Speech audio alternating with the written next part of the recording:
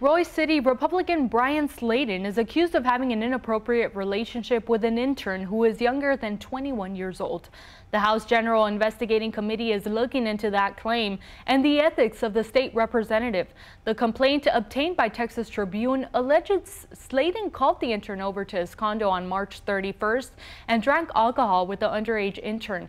A legislative staffer filed the complaint, which was confirmed by another person who knew about the incident. Austin City Council members are expected to get briefed on the partnership between Austin Police and Texas DPS next week. Councilwoman Vanessa Fuentes claims the decision for the partnership was made behind closed doors without City Council members. Fuentes says she wants to look into what areas are being patrolled by DPS and what kind of arrests are being made. That briefing will take place Tuesday, April 18th.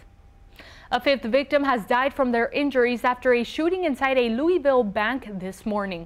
Eight people remain in the hospital, including two police officers. Investigators say the shooter, a 25-year-old bank employee, opened fire inside a conference room. Police arrived within three minutes of being dispatched and got into a shootout with the gunman, killing him.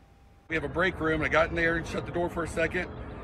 And then I was looking around, the, opened the door to see where he was at, and I could see him still shooting. I didn't see his face and then I took off running out the front door.